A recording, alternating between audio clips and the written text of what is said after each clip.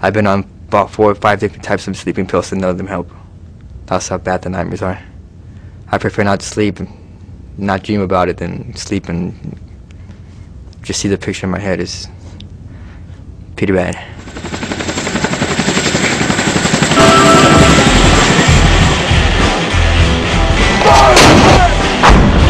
This is the southern Korengal. Deadliest place on earth, the Korengal Valley. We're not ready for this. Get The fuck over here!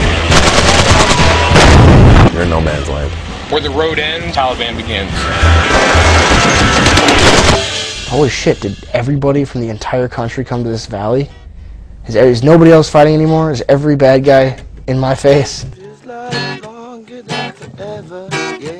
We can make more money, make you guys richer. What I need though is I need you to join with the government fear is always there. We're gonna die here. Fucking Christ. Say a prayer and move on.